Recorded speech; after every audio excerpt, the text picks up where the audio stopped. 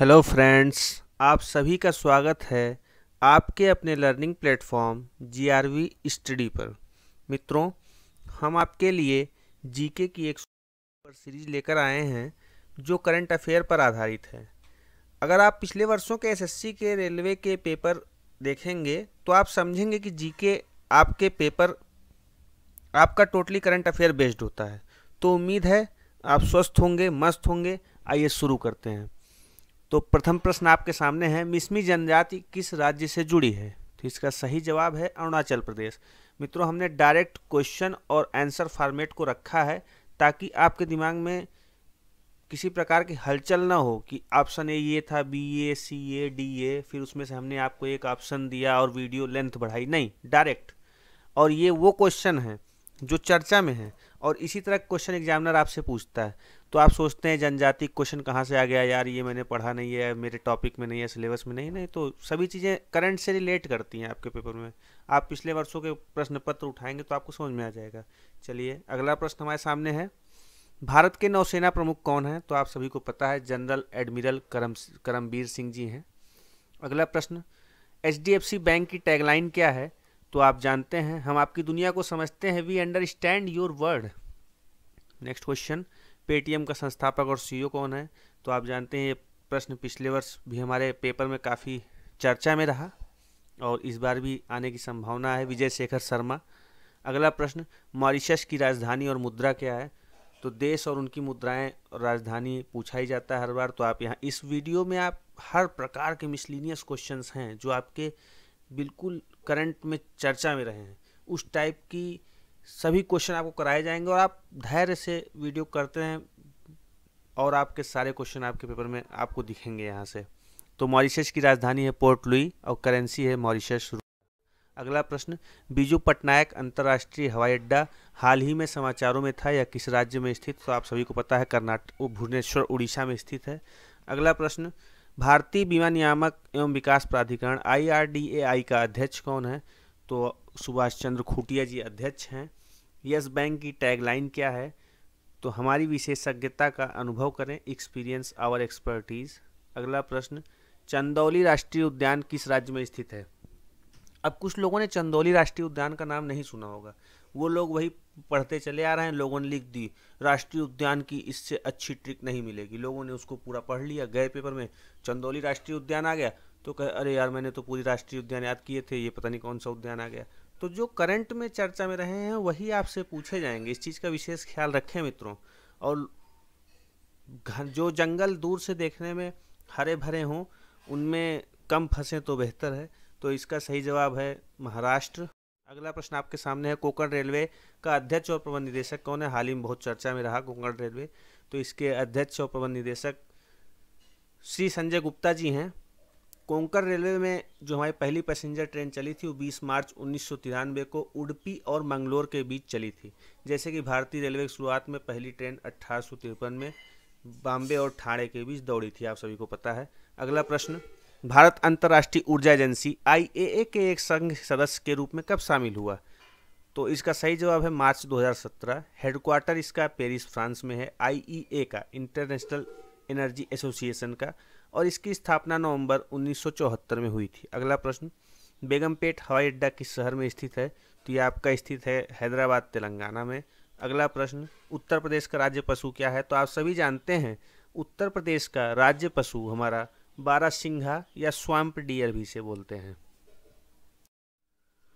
अगला प्रश्न है मित्रों, फिर वही प्रश्न रिपीट हुआ। आईईए का मुख्यालय कहाँ है तो आप सभी जानते हैं, पेरिस, फ्रांस में है। अगला प्रश्न, हावड़ा ब्रिज, जिसे रविंद्र सेतु के नाम से भी जाना जाता है, इस प्रश्न को डालने का केवल एक मकसद था, रविंद्र सेतु। लोग कंफ्यूज न हो, रविंद्र सेतु दे दिया जाए। हावड़ा ब्रिज तो लोग कहते हैं कलकत्ता, लेकिन रविंद्र सेतु पे कुछ लोग कंफ्यूज हो सकते हैं, इसलिए यह प्रश्न यहाँ पर डाला गया। तो यह किस राज्य में स्थित? तो आप सभी जानते हैं, पश्चिम बंगाल में है। अगला प्रश्न है, कोरिंगा वन्य जीव अभ्यारण्य। देखिए, फिर एक वन्य जीव अभ्यारण्य आया। तो ये कहाँ स्थित है? ये आपका आंध्र प्रदेश में स्थित है। अगला प्रश्न है दोस्तों, काजीरंगा नेशनल पार्क हाल ही में खबरों में देखा जाता है। यह किस राज्य में स्थित? तो ये आपका क्वेश्चन ऐसा है जो हर जगह पढ़ाया जाता है। तो ये आप सभी जानते हैं, इसका सही जवाब है असम। अगला प्रश्न, Dewan housing finance corporation limited, DHFL के अध्यक्ष सह प्रबंध निदेशक कौन है? तो कपिल वाधवान जी हैं।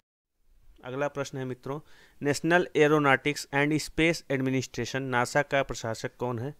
तो जिम ब्रैडनस्टाइन जी हैं और इसका हेडक्वार्टर आप जानते हैं, हमारा यूके में है, सॉरी, यूएस में है। नेक्स्ट क्वेश्चन, भारतीय रिज़र्व बैंक आरबीआई में कितने डिप्टी गवर्नर हैं? तो आप देखिए, अब यहाँ से किस तरह से क्वेश्चन बनता है? अब भारतीय रिज़र्व बैंक आरबीआई चर्चा में है तो पूछा कितने डिप्टी गवर्नर हैं? ये तो करंट की बात हो गई। करंट की बात हो गई। तो इसमें चार डिप्टी गवर्नर हैं। लेकिन अब चर्चा में रहने के कारण उससे पूछ लिया गवर्नर कौन है यहाँ का? तो शक्तिकांत दास जी हैं। हेडक्वार्टर कहाँ है? मुंबई में है। स्थापना कब हुई थी? ब्रिटिश राज में हुई थी। फाउंडेड कब का है?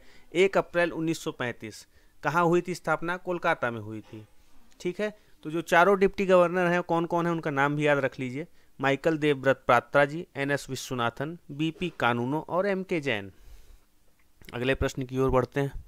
भारतीय सेना के सेनाध्यक्ष कौन हैं?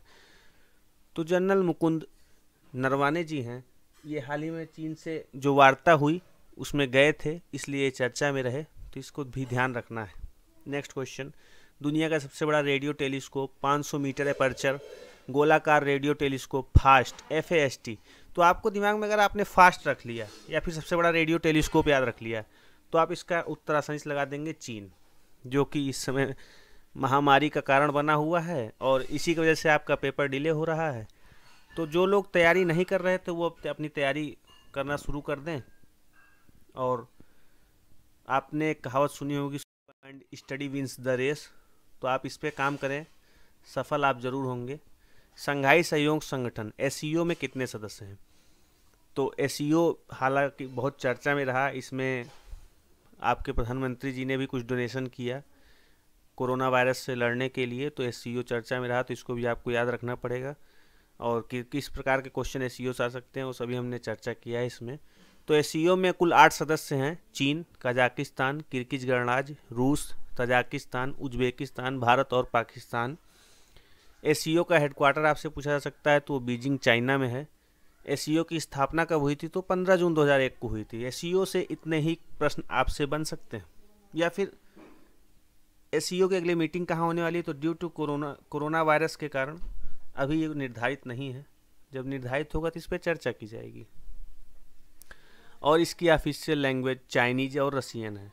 अगला प्रश्न मित्रों, विश्व बैंक वर्ल्ड बैंक का प्रबंध निदेशक कौन है? तो वर्ल्ड बैंक के प्रबंध निदेशक अंशुला खांड जी हैं और जितनी भी संस्थाएँ हैं, उनके हेडक्वार्टर आपसे पूछे जा सकते हैं। जो विदेशी संस्थाएँ हैं, उनके हेडक्वार्टर पूछे जाते हैं। जो इंडियन ऑर्गेनाइजेशंस हैं, उनके हेडक्वार्टर तो पूछे जा सकते हैं, पूछे जाते हैं और उनकी स्थापना भी पूछी जाती है। तो आप ध्यान रखें इस चीज़ को। तो वर्ल्ड बैंक का हेडक्वार्टर कहाँ है? वाशिंगटन डीसी यूनाइटेड स्टेट्स में। अगला क्वेश्चन है International Union for Conservation of Nature आई का मुख्यालय कहाँ है? तो आई का मुख्यालय दोस्तों स्विट्जरलैंड में है। और ये आई वही है जो हमारे जो प्राणी जीव जंतु होते हैं, उनके लिए रेड डाटा बुक निकलती है, ग्रीन डाटा बुक निकलती है। तो उसमें कौन प्राणी, कौन जीव शामिल हैं, कौन जीव ग्रीन में शामिल हैं तो ये आई ही निकालता है। तो ये भी आपसे पूछा जाता है, रेड डाटा बुक कौन रिलीज़ करता है तो आप ध्यान रखिएगा आई तो ये हमारा क्वेश्चन यहाँ पर कंप्लीट होते हैं। और एक हम लोगों ने क्वेश्चन ऑफ़ द डे रखा है। तो अगर आप क्वेश्चन ऑफ़ द डे देखें तो ग्रैमी अवार्ड्स हाल ही में खबरों में नज़र आए या किस फ़ील्ड से जुड़ा है। तो इसके चार ऑप्शन आपके सामने हैं क्रिकेट म्यूज़िक न्यूज़ हॉकी तो इसका सही जवाब आप लोग कमेंट बॉक्स में दें। और दोस्तों, अगर आपको वीडियो अच्छी लगी हो तो अपने मित्रों के साथ साझा करें और चैनल को सब्सक्राइब करें।